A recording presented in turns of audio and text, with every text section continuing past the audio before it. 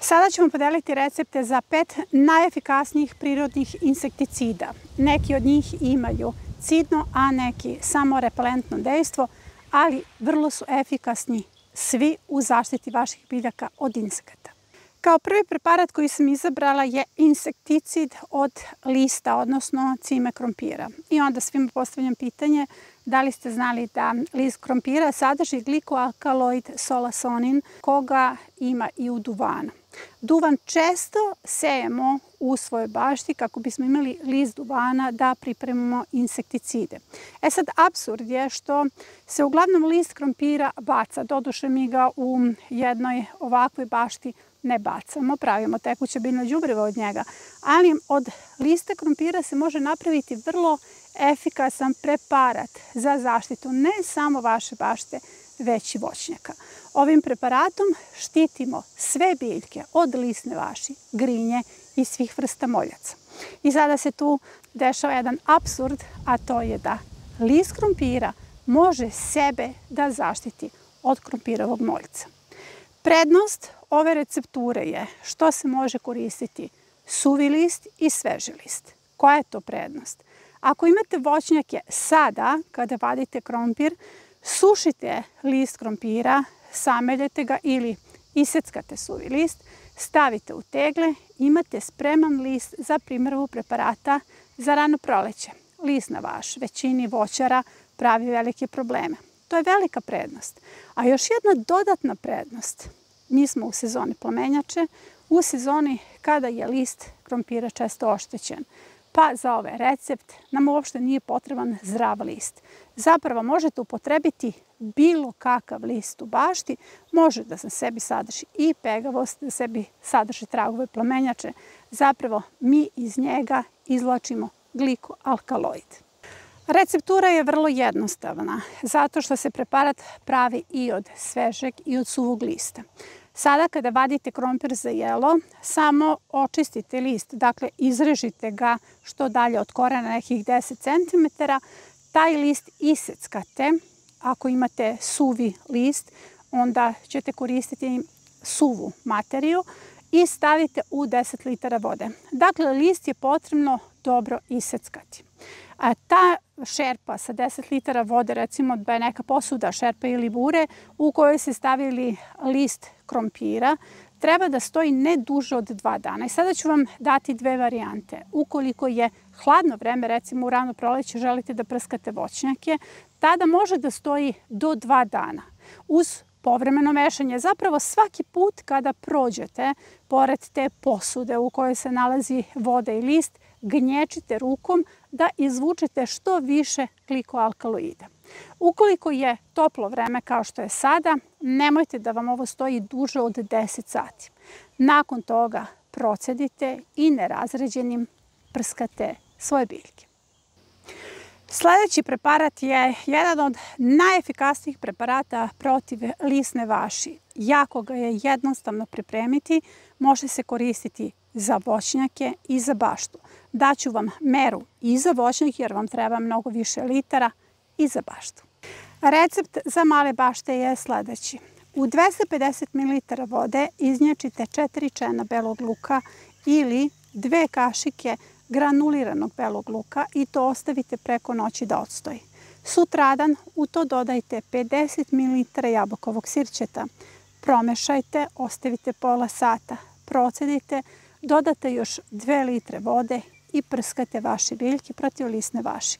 Nemojte da brinete, jabukovo sirće u ovoj koncentraciji je vrlo efikasno. Kada su u pitanju voćnjaci, njima je potrebno mnogo više litara tečnosti. Zato je receptura sledeća. Glavicu belog luka ili šest kašika granuliranog belog luka stavite u 10 litara vode preko noći da odstoji. Sutradan ćete dodati 750 ml jabukovog sirćeta. Sve to dobro promešate, ostavite da odstoji pola sata, procedite i tu dodate 50 litara tečnosti. Tako da ćete dobiti oko 60 litara tečnosti za prskanje vaših voćnjaka. Treći preparat pravi se od kašike čili praha. Da li ste znali da je kapsaicin vrlo jak insekticid? Preparat od čili praha pravi se vrlo jednostavno. Zapravo potrebna je jedna kašičica čili praha koju ćete staviti u 500 ml tople vode. To treba da odstoji 10 sati. Povremeno mešajte. Nakon toga ćete procediti. Tada dobijete koncentrat. Taj koncentrat možete da držite u frižideru i 15 dana. Potrebno je da uzmete 20 ml tog koncentrata, stavite u litru vode, prskalicu i tretirate svoje biljke protiv zlatica i smrdibuba. Sada je već vreme zlatica kada se nalaze svuda po krompiru, a smrdibube su se uveliko probudile, tako da možete da napravite i veću količinu ovog preparata i da prskate čitavu baštu. Četvrti preparat koji se pokazao kao vrlo efikasan jeste preparat od korijandera protiv smrdi buba i stenica. Generalno on deluje protiv svih vrsta stenica. Jako je važno da budete uporni kod upotrebe tog preparata, a mi smo za potrebe tog preparata u decembru radili setvu korijandera. Zapravo u taj decembarski kalendar je ušla setva korijandera, to su sadnice koje smo, evo kao što vidite, ubacivali u baštu. Zato što je korijander efikasan kao list, kao cvet i kao zeleni plod. Dakle, tada nam treba korijander i velika je prednost što se ovaj preparat može zamrzavati. Bašte su nam sada pune različitih vrsta stenica. Naravno, nisu sve stenice one koje nam predstavljaju problem. Zato savjetujem da pogledate epizodu o preparatu protiv smrdibuba gde upravo pričam o korijanderu i o stenicama koje je potrebno eliminisati iz bašte. Recimo, ove stenice zaista nije potrebno uopšte da dirate. Deo su pretorskog lanca i uglavnom se nalaze na štitarkama. Bašta je sada puna kupusnih stenica, dakle sada nastupa njihov period i one prave upravo ovakva oštećenja na listovima kupusarica. Smatram da sam ih ove sezone dobro zaštitila upotrebom korijandera i ostavljanjem starih biljaka u bašti koje su još uvek njihova igronica. Tako da već imam odlične kupuse koji se glaviče bez nekih većih oštećenja. Recimo ovom kupusu koji su veliko glaviči, stenica ne može ništa, ona će jesti njegove okolne listove, ali najbolje od svega što sam uz pomoć i korijandera i starih kupusarica došla do ove faze kada se kupusi uveliko glaviče. Napravila sam eksperiment, posadila sam različite vrste kupusarica na jednoj gredici i neke sam tretirala korijanderom, neke nisam. Ovaj kupus sam tretirala uredno korijanderom svaka dva dana, dok kao što vidite sve puno stenica, ove dve vrste kupusarica nisam niti jednom tretirala korijanderom i kao što vidite razlika je evidentna. Uzimam obzir da su u pitanju različite kupusarice, ali evo, ova brokula je prilično oštećena, ovdje imam ljubičastu brokulu, keljovi se nekako drže, ali evo i lisnati kelj, koji je njima igronica, ali koga zapravo i najmanje mogu da oštete. Zapravo od svih ovih kultura jedino sam kupus prskala svaka dva dana i to je bio eksperiment koji je pokazao da zaista preparat od korijandera, ukoliko ste uporni, možete upotrebiti za efikasnu zaštitu.